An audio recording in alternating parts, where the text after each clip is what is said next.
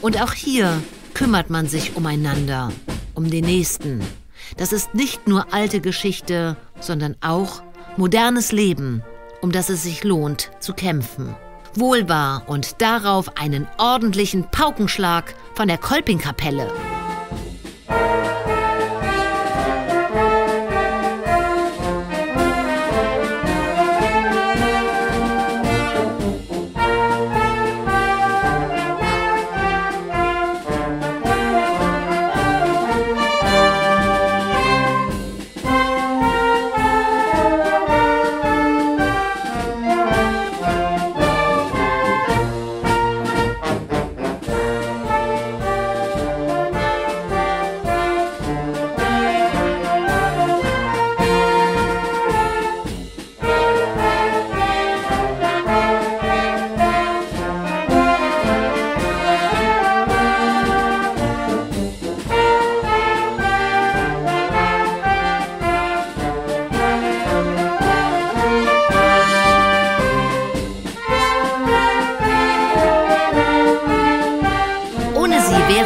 Feste nicht das, was sie sind in Kampbornhofen.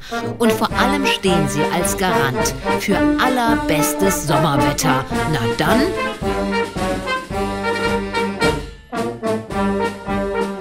Aber was passiert dann? Bei unserem dritten Versuch, das Schönwetterversprechen einzulösen, passiert Folgendes. Wir erinnern uns.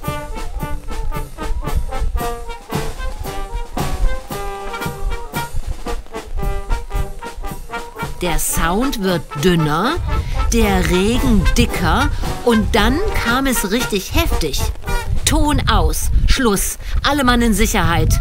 Auch das war der Sommer 2014.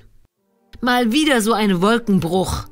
Nach dem Heimatfest fällt nun auch der Flohmarkt ins Wasser. Da waren alle überrascht, denn normal war das nicht. Tut der Stimmung aber keinen Abbruch. Die Stimmung ist immer gut, ja. Aber sowas, dass es Samstag so geregnet hat, das haben wir noch nicht gehabt.